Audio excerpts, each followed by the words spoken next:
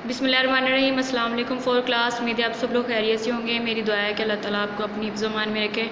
बेटा, आज हमारा तीसरा दिन है, ऑनलाइन लेक्चर का तो जल्दी से अपने लेसन की तरफ़ आएँगे।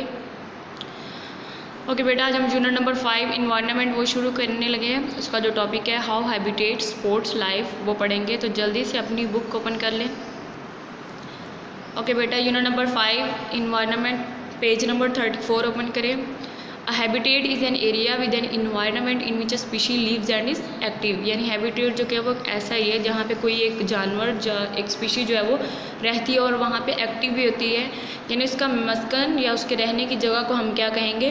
Habitat how habitat supports life यानी जो हैबिटेट है जो मस्कन है जो घर है एक स्पीशी का वो लाइफ को किस तरह सपोर्ट करता है?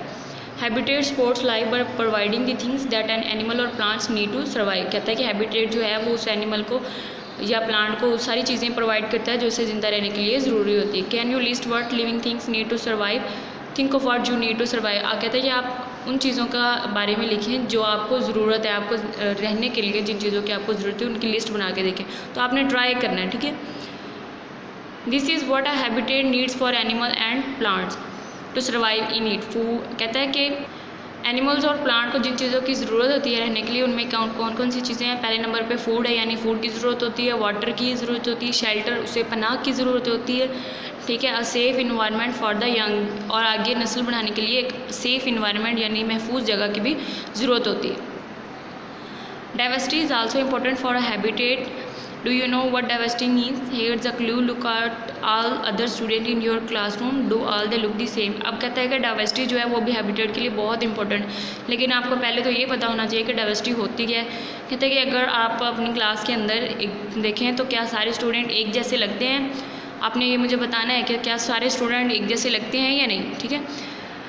डाइवर्सिटी मीन डिफरेंसेस यानी डाइवर्सिटी का मतलब क्या है? वो डिफरेंस या वैरायटी जो है एक स्पीशी के अंदर बहुत सारी मुख्तलिफ़ चीज़ों को हम कहते हैं, ठीक है diversity the more difference in habitat the more types of animal and plant it can have living within it जितनी ज़्यादा डिफरेंट होगी, उतनी ज़्यादा एनिमल्स या प्लांट्स की टाइप्स जो हैं एक जगह पे हो सकती हैं, ठीक है? Diversity is important because it means animals and plant do not have to compete for the same food water and shelter जितनी ज़्यादा डाइवर्सिटी होगी, वो इतनी ज़्यादा अच्छा होगा, क्योंकि हर एनिमल और हर प्लांट की फ़ूड जो है वो अलग अलग होगी कुछ एनिमल जो है वो घास खाएँगे, कुछ एनिमल गोश्त खाएँगे तो उनके दरमियान कंपटीशन नहीं होगा फ़ूड के लिए वाटर के लिए या शेल्टर के लिए, क्योंकि कुछ जो एनिमल्स हैं वो प्लांट्स पे रहते हैं, कुछ ज़मीन पे रहते हैं कुछ जो है वो कहीं पर रहते हैं तो उनके अंदर कंपटीशन कम हो जाता है, ठीक है? और उनकी जो रहने की चांसेस होते हैं वो ज़्यादा हो जाते हैं। If a habitat is not diverse the weaker animals and plants will not be able to survive कहता है कि अगर डाइवर्सिटी नहीं है, अगर चीज़ों के अंदर डिफरेंस नहीं है तो जो कमज़ोर एनिमल होते हैं या प्लांट्स होते हैं वो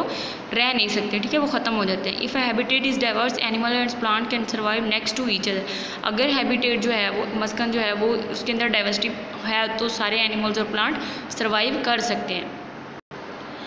ओके बेटा, उसके बाद आपका क्वेश्चन नंबर वन है व्हाट इज़ हैबिटेट यानी हैबिटेट क्या है? Habitat is an area with an environment in which a species lives and active यानी वो जगह जहाँ पे एक स्पीशी जो है, या लिविंग ऑर्गेनिज्म जो है, वो रहता है और वहाँ पे एक्टिव होता है, उसको हम क्या कहते हैं? हैबिटेट क्वेश्चन नंबर टू है what is meant by diversity तो इसका बहुत शॉर्ट आंसर है कि डाइवर्सिटी मीन डिफरेंसेस ओके बेटा, आपकी असाइनमेंट ये है कि आपने इस टॉपिक को अच्छे से रीड करना है और क्वेश्चन नंबर वन और टू दोनों को होमवर्क में लिखना भी और याद भी करना है। अपना बहुत सारा ख्याल रखिएगा। अल्लाह हाफिज़।